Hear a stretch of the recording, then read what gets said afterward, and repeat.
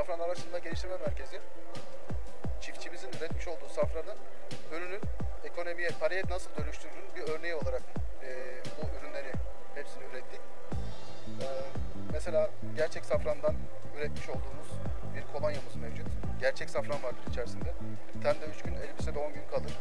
Şu gerçek e, tohumumuzdur, safran tohumu. Toprakta 3 yıl kalıyor. 1'e 7 veriyor. İlk ektiğiniz zaman Eylül ayının başına kadar ekebiliyorsunuz.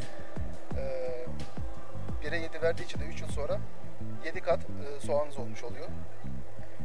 Safran kremimiz leke açıcı. Özellikle içerisindeki B3 vitamininden dolayı safran leke açıcı özelliği çok ciddi anlamda olan bir bitki.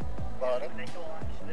Yüzünde leke olan, mat olan, ciltli malt olan, ne- neme ihtiyacı olanlar için bizim safran kremi gerçekten çok etkili bir krem.